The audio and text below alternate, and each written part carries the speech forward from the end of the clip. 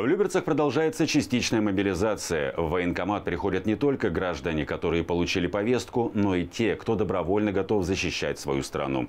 Как прошла очередная отправка мобилизованных жителей округа, расскажем в нашем следующем сюжете.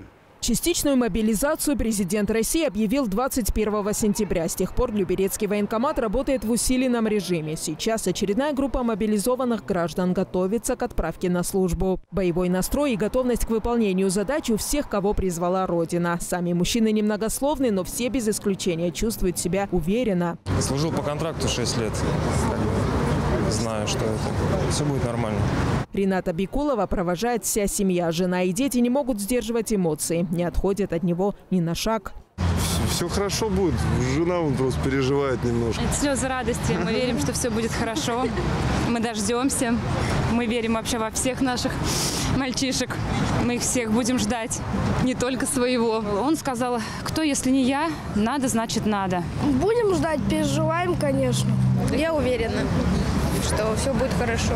Администрация городского округа спланировала мероприятие по поставке всего необходимого вот на первый случай прибытия на пункт приема личного состава. Это вещевые мешки, оборудованные спальниками, подстилочки теплые, это медицинские аптечки, которые необходимо, сухой паек.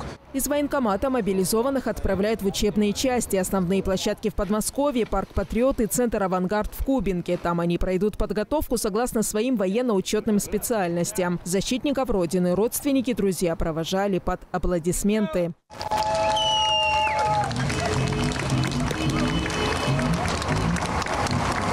Луиза Игязарян, Петр Пономаренко, телеканал ЛРТ.